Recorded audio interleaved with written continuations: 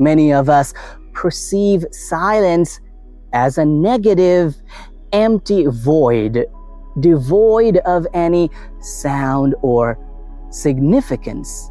However, according to Osho, this understanding is not true. Osho suggests that the misunderstanding arises because only a few individuals have genuinely experienced the true silence. What most people have encountered is merely the absence of noise, a state of noiselessness. But silence, as Osho describes it, is an entirely different phenomenon. It possesses a profoundly positive nature.